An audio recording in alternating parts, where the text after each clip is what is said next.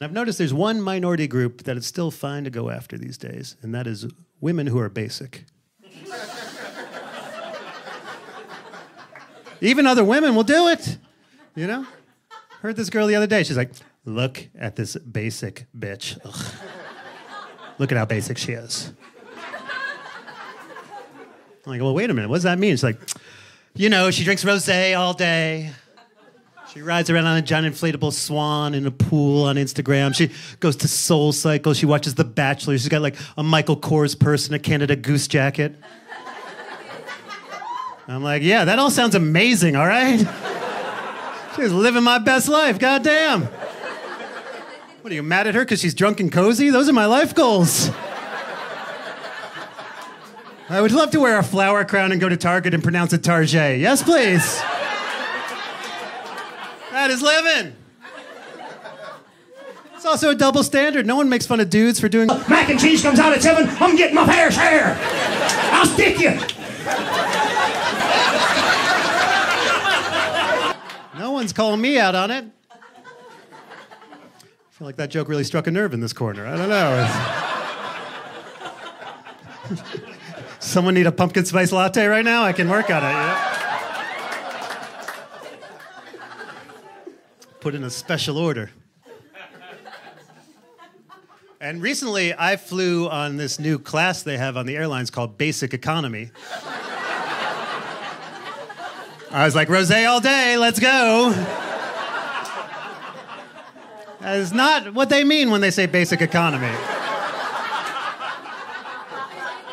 Gwyneth Paltrow didn't come up once. No, it's a cheap fare, but there's a bunch of rules on basic economy. Uh, you can't get a refund. You have to sit in a middle seat, okay? You have to board last. And then when you get on the plane, they spit in your face and call your mom a slut. I was like, hey, if it saves me 30 bucks, I'm in, you know? It's like, I guess I'm a sex worker now. Thanks, Delta. And so I'm sitting in my middle seat. And the guy in the window seat, it was a four and a half hour flight. He's got no headphones, no TV, no laptop, no tablet, no book, a four and a half hour flight. He's just peacefully watching the world go by out his window. And I'm like, wow, this guy is a psychopath. Can I call 911 on this? Am I allowed? Yeah, I'd like to report an adult human male comfortable with his own thoughts. I don't like it at all. I'm seeing nothing and I'm saying something. Thank you.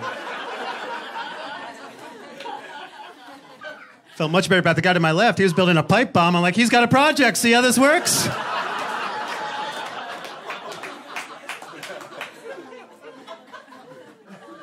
Because I'm addicted to my phone. I can't stay off it.